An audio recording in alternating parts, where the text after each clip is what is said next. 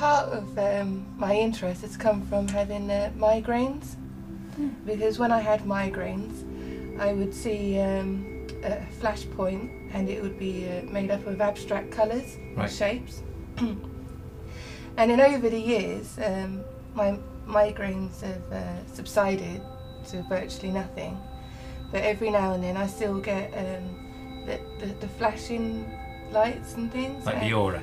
The, the aura thing, Right. yeah. But instead of being jagged and horrible and unpleasant, they, they were um, they were quite nice, Right. and uh, the shapes were more asymmetrical and uh, and and this was. Uh, I thought, well, if, if this is coming from my brain, this this system of uh, trying to understand what my thoughts were and drawing them down on paper, perhaps I could look at that and try and draw them. So this is these here are like trying to draw what they look like and then take inspiration from them. So I'm merging the experience of migraines with memories and things like that.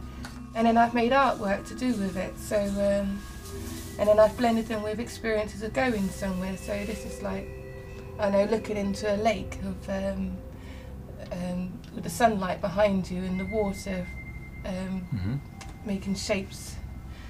And then I've done oil paintings, blending the uh, the geometric shapes of thought that I thought that I was having with um, seeing things in nature. So swans going through a lake, but then if you're in a car and you're driving past the lake fast, then you sort of remember remember sections of it and then details of it. So I was trying to capture that. So in this uh, pot of water, the water molecules aren't static; they're constantly moving around. Okay, so they've got what we call a thermal motion. And in this water, if you looked at a particular water molecule, it just kind of moves around.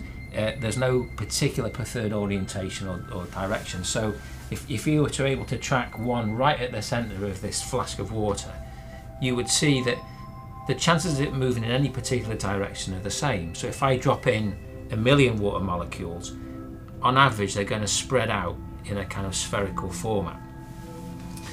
Now, these fibres in the brain uh, that connect the different cortical areas, like the motorways, they're similar to this kind of spaghetti. So we've got these individual strands.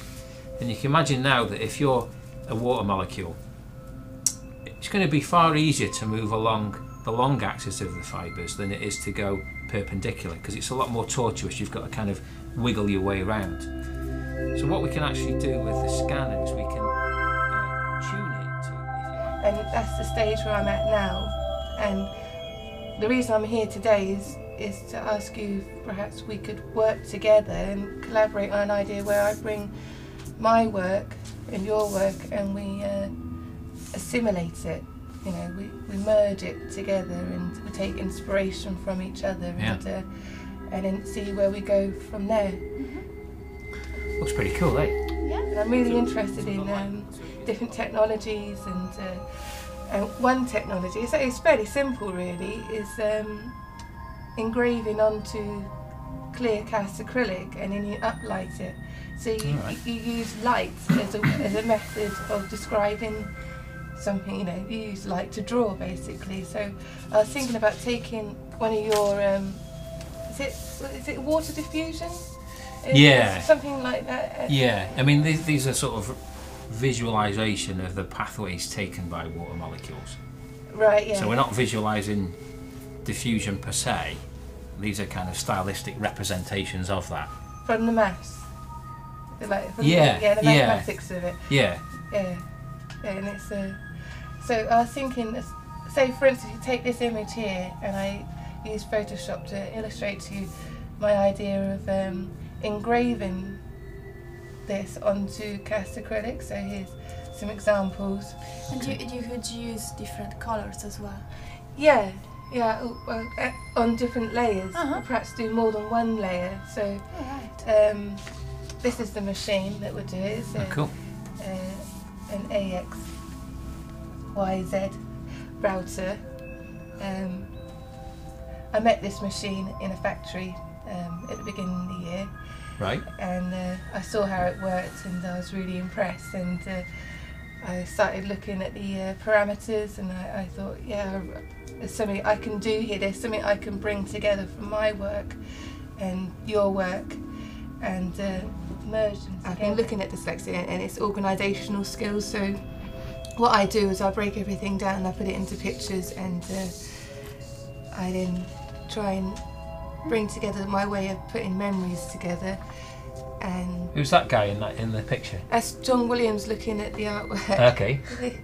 So he, that's him in the room, and it, this is like uh, me imagining my thoughts going around and then words integrated into that, and uh, the little orientation symbols, with Right. the uh, LED lights, and yeah, the, those lights, and all the elements he was talking about, like. Um, he mentioned the Barbican, for instance, and uh, I didn't know they collaborated with them, and the Wellcome Trust collection, Yeah. and things like that. So, as a memory, I'm trying to input it all into here. This is like one of the diagrams you were showing me of, um, you know, some of the connections. Yeah, yeah. So, so as a drawing, like drawing the connections between my memories of what we learned in that meeting. Just spread it. So I'm then just carrying it on forward. This would be our Trying to- estimate within every condense it down You